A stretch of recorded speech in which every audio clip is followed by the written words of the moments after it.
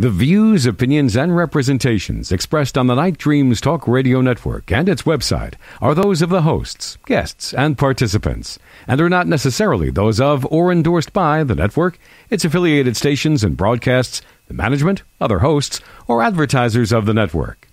The shows found on the Night Dreams Talk Radio Network can, but do not necessarily, promote any particular lifestyle, belief, religion, political affiliation, or other personal practice. These shows are for entertainment purposes only and are not intended to treat, diagnose, and or claim any cure of disease or condition or give any medical or legal advice.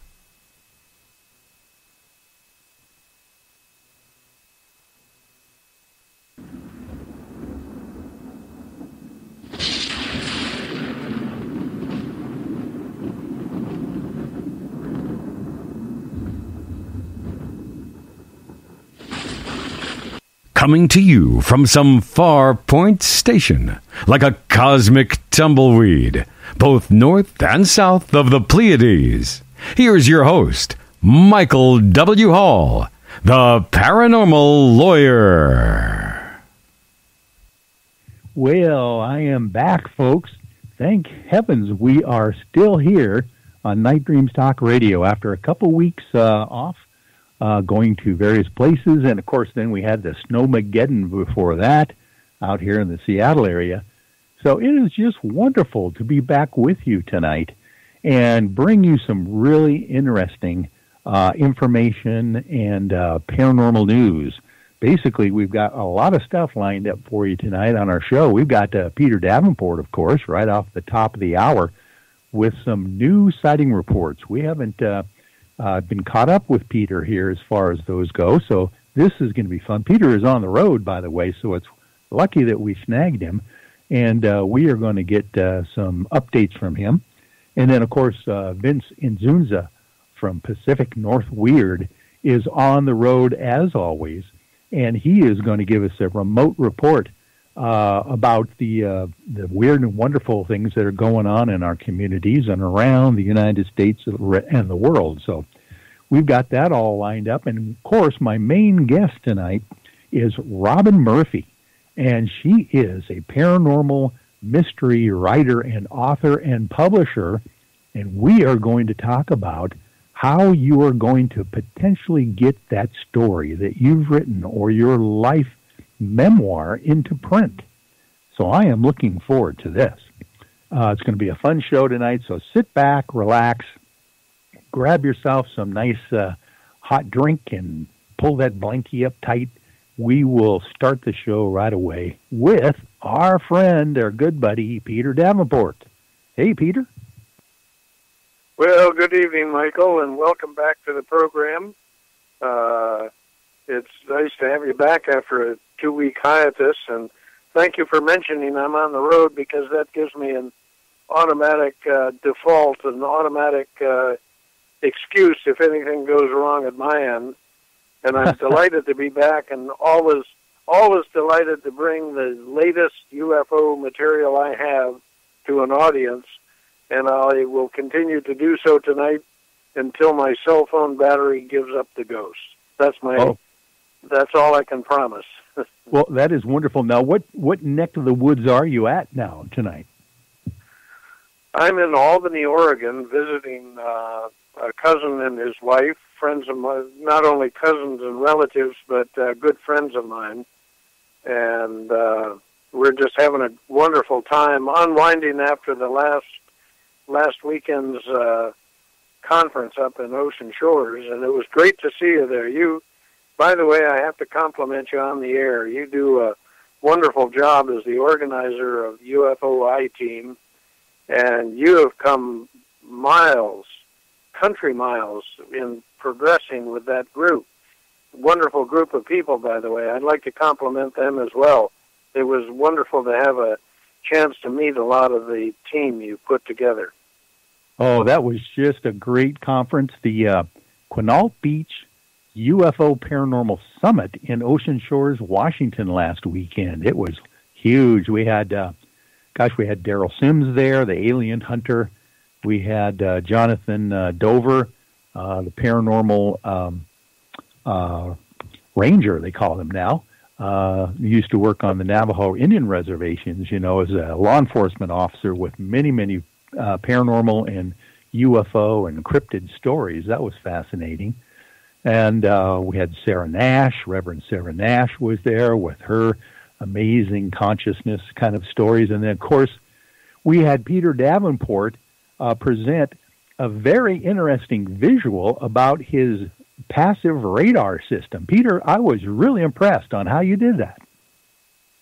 Well, thank you very much. That's that's the first time I've ever done that in front of an audience, uh, presenting a very basic illustration of what passive radar is. And uh, I didn't know how it was going to come off, but I had some feedback after the presentation that people seemed to like it principally because it was so simple. And then yeah. basically what I said was we are able to use reflected radio, commercial radio and television signals for detecting and tracking UFOs. And it's a concept that came to me, as you heard from my lecture, some 24 years ago, and I'm still trying to sell it to the community, UFO community.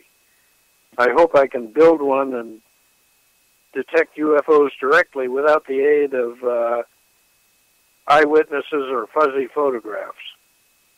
Yeah, yeah, definitely. It's a fascinating white paper that you've written on that whole idea.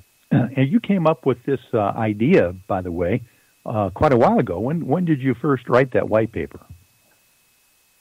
Uh, first paper, I came up with the idea in January, late January of, 2000, of 1995, just shortly after I had started uh, taking over, just shortly after I'd taken over the hotline from Bob Gribble.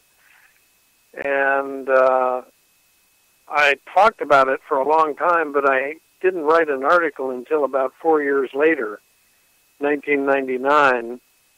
And uh, it, it's very interesting, Michael. I proposed a concept that would allow the UFO community to detect UFOs directly and it was eight weeks before I had any feedback from any of the readers or uh, members of MUFON who had had a chance to look at the article.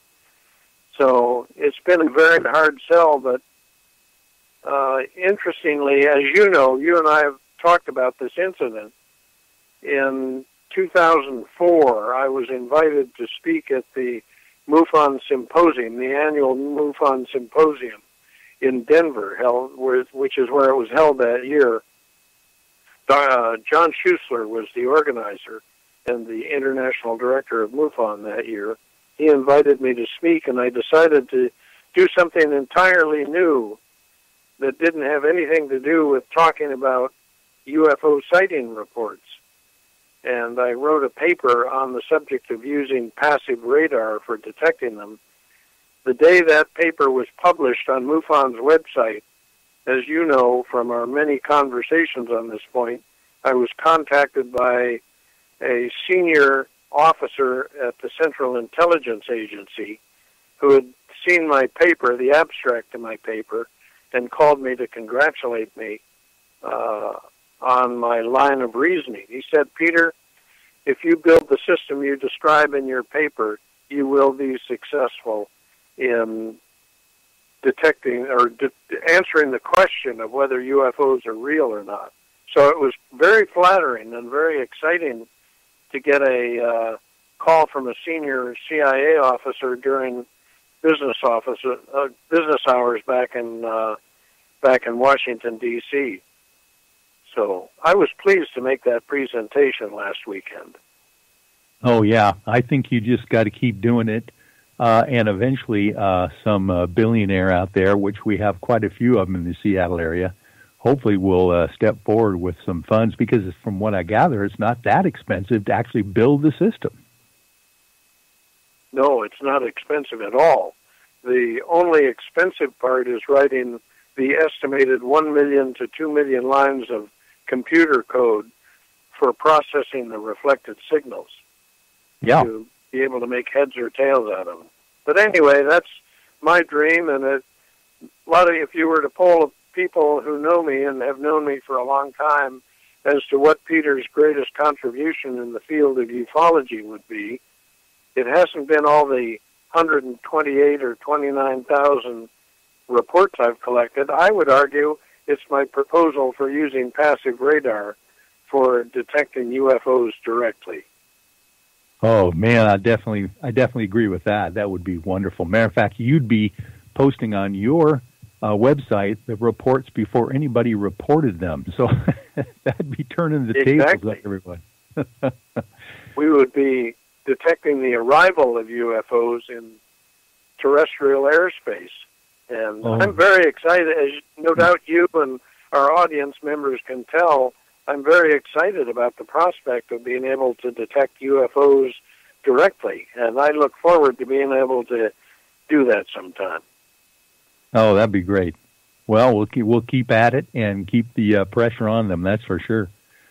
Well, I, I would imagine, uh, even though you're on the road, and I really appreciate you uh, joining the show uh, while you're out and about traveling, but uh, you might want to give us uh, some sighting reports that you think are important for us to know about. Absolutely, and thanks to the wonders of the electronic age, I was able to access a lot of the reports that have been submitted using our online report form, even though I'm not back at the center. I was able to use a friend's computer and access the uh, access my email. And there's some wonderful reports. The first one I'd like to address, Michael, comes from Columbia, South Carolina, the 26th of February, a Tuesday, I believe that was. A young student writes that uh, on the evening of the 26th of February at 6:25 p.m., he was witness. He was outside uh, in his backyard, and he saw a allegedly saw a saucer-shaped object, metallic in color. I don't know what that means, but I suspect that it means either the color of aluminum or silver or stainless steel, hovering motionless in the nighttime sky and it had a cupola on top of it, as is so often reported by people who see these craft of this shape. He estimates he saw it for somewhere between two to five minutes. He's, he didn't time it, but uh, very interesting sighting. And if it's a sincere report, uh, he had a very interesting sighting indeed. He estimates that the object was approximately 20 feet long or a little bit shorter and 10 to 15 feet wide, or uh, rather, excuse me, 10 to 15 feet tall. I'm reading from his report. So that was Columbia, South Carolina on the 26th of February. Very interesting report. All right. Uh, the second one I'd like to uh, cite before we go into uh, discussion of it is a sighting over up in your territory, neck of the woods, Maple Valley, Washington. A gentleman who described himself as uh, being in his 50s, a very sober and sane individual, on the 28th of February, Thursday morning, at 5:59 p.m., noted a very bright light in the eastern sky that was going from his right to his left, so headed generally north and the thing that shocked him is how much of the sky the light covered in just a matter of, he estimates he was watching it for eight to ten seconds. It covered approximately, I have to estimate the the arc, but between 90 and 120 degrees of arc in approximately eight seconds is his estimate. And what makes it very interesting as well is that the object appeared to accelerate while he was watching it. A meteor would not